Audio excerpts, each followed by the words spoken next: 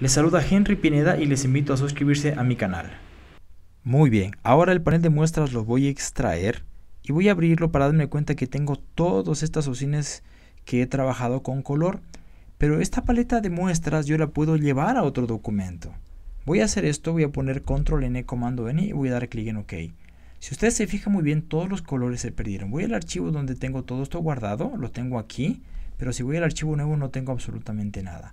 Pues bien, ¿cómo incorporar estos colores a cualquier archivo o cualquier aplicación de Adobe? En el panel de muestras, que es el panel más importante para trabajar con color, me voy a opciones, vamos a poner esta opción que dice guardar como una librería ASE, que significa Adobe Swatch Exchanger, o simplemente guardarlo como un ilustrador. Esto lo puedo abrir en cualquier ilustrador, pero esto lo puedo abrir en cualquier programa de Adobe. Así que lo voy a guardar como un ASE. Voy a elegir el escritorio como un destino final y le voy a poner aquí mi librería.ase. Damos clic en guardar. Damos clic en OK.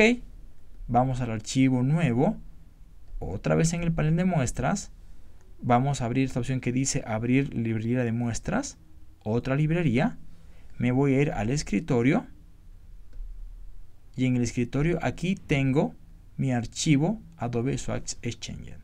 Abrir y aquí tengo toda mi librería y puedo elegir los colores o los grupos de colores para trabajar de manera directa y ahora ya lo tengo dentro de mi panel de ilustrador.